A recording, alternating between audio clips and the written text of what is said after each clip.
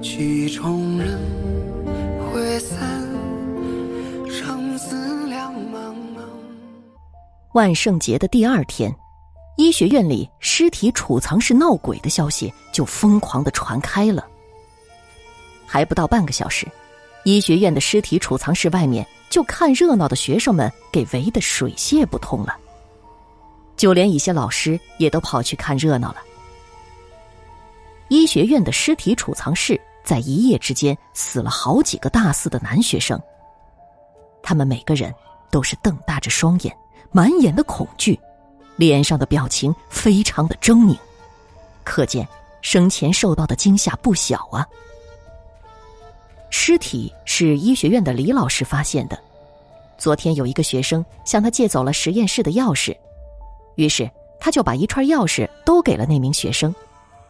其中就包括了尸体储藏室的钥匙，因为昨天他参加学校里举行的万圣节派对，所以也就没有去找那个学生要回钥匙了。可是，一整夜他的心里总觉得不安，于是第二天一早，他原本是要去找借他钥匙的学生林生，可是他的心里就像有着一个呼唤一样，让他不由自主的往尸体储藏室里走去。到了尸体储藏室的时候，他竟然发现尸体储藏室的门没锁，于是就推门进去。他看到地上摆满了尸体，有医学院里实验用的全身光着的尸体，还有几具穿着衣服的尸体。李老师走过去，认真的看了看那些尸体。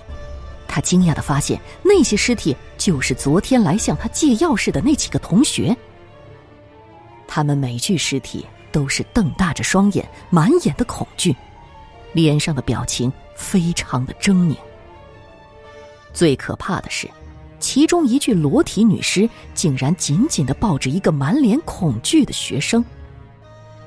李老师大叫着摔倒在了地上，他连滚带爬的离开了尸体储藏室。没一会儿，尸体储藏室闹了鬼的消息就在医学院里传开了。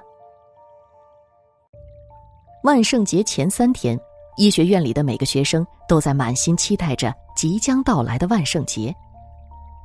大四的几个学生想要让自己在学校里度过的最后一个万圣节变成一个难忘的万圣节，该为这个万圣节取一个怎样吸引人的主题呢？几个学生坐在书桌前，绞尽脑汁的想着。亚鹏是个动漫迷，他一边看着手里的动漫书，一边不屑的说道：“要我说呀，就叫尸体派对，多么震撼的主题啊！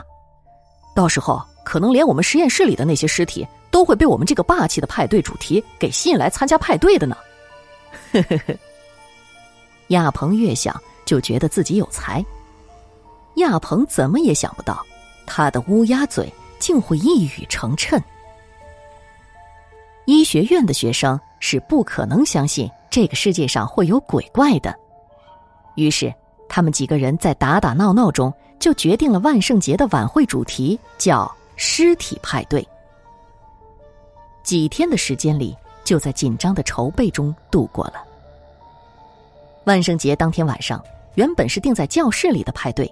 可是小波却觉得不够刺激，他认为，既然是尸体派对，又是万圣节这个西方的鬼节，那么就必须要在一个和万圣节还有尸体派对这个主题相符的地方。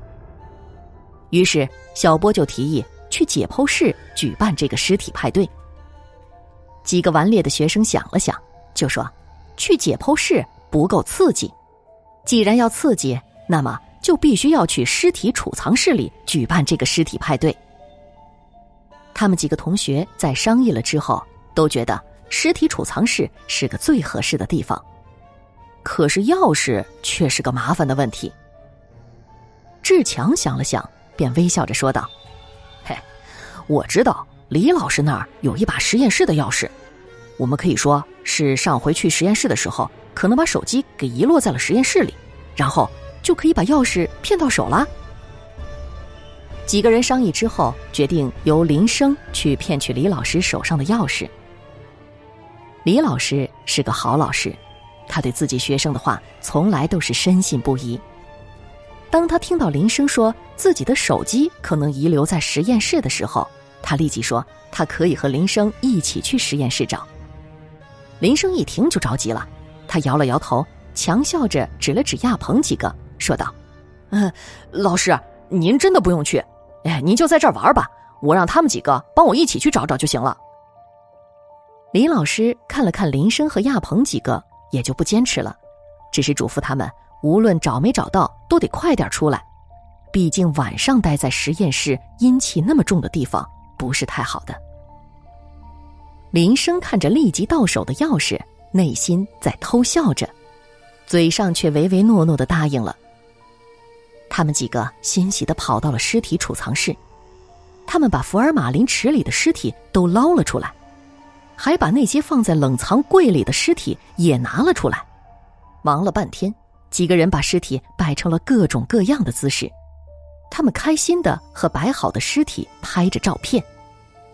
可是他们几个却忘了，他们第一次在上解剖课的时候，老师对他们说过的：“尸体是我们无言的老师，我们面对他们的时候，必须要怀着一种庄严而尊重的态度。”亚鹏一边忙着和尸体合照，一边忙里偷闲的说道：“哥们儿，咱现在这个派对才是真正的尸体派对呢。